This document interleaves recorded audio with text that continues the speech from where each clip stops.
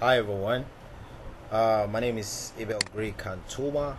I'm from Greytest Design Consults. This is my WhatsApp contact. You can reach me on this number you can call me on any of these numbers, okay?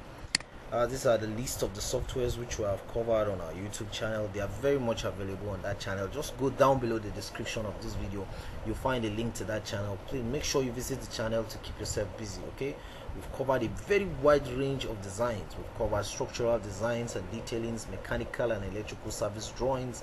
Uh, we've covered road designs, water designs, architectural uh, working drawings. We've covered both 2D drawings, we've covered 3D uh, designs, and even rendering softwares. Okay, uh, they are very much available on that YouTube channel. Please make sure you visit it to keep yourself busy. Okay, uh, today I'm going to be showing you CADS RC okay i'm going to be showing you how to actually generate your pile cap uh, automatically it's going to give you the detailing automatically so let's say i type in my pile cap here okay?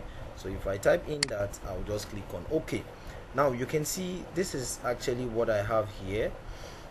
Uh, if i click on double click on that uh, default you're going to see the information here concrete grade concrete cover uh, bottom this this this column okay? All of this information tolerance you can see this is to bs 8110 uh, if i click on next now here i can choose the type of um, pile cap based on the number of piles that i have on that uh, cap okay?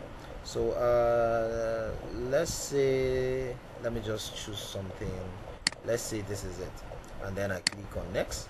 Here now pile data you can see the diameter of the pile. Uh, you can actually change diameter of that pile you can change uh, longitudinal the factor the distance the overhang okay? Based on your design what you must have designed okay? Like you know this software is actually not for design it's actually for detailing okay? Please so please take note uh, this is not for design i will repeat. This is actually for detailing you must have done your detail this you must have done your design using probably another software or using a spreadsheet uh, to come up with your design then you come here and do your detailing. It makes your detailing much more easier and much more faster okay? So you can you are going to see how we are going to generate our detailing with a cross section within just less than a minute or in one minute you are already done. All you need to do is just to impute those informations that you must have used based on your design okay? Here and then it will generate your detailing for you okay? So the informations you got from your design is the information you are actually going to impute here in order for it to generate that detailing for you. So if i click on next here now and then i'll click on next and then i'll click on draw.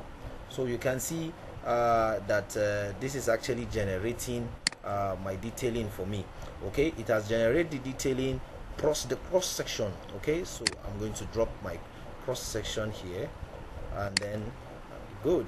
So you can see everything has been generated. Now i have uh, this. You can see the detailing here. 9 uh, h16 okay? So there are so many informations i did not really change. I just left it at default. So um, but you can take out your time to actually impute those information most especially when you are actually going to do your design. You can see this is the cross section for the column this is the cross section for the pile cap itself okay?